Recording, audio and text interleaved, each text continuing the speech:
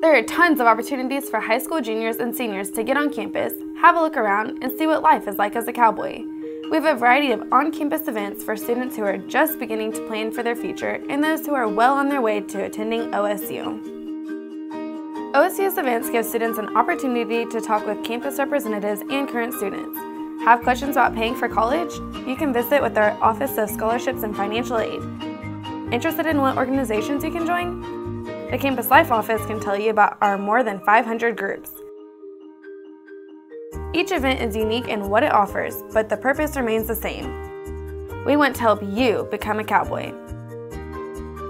We also offer campus tours so you can see the iconic buildings and beautiful landscape OSU is known for. So what are you waiting for? Visit admissions.okstate.edu slash events and see what event best fits you. We can't wait to see you here.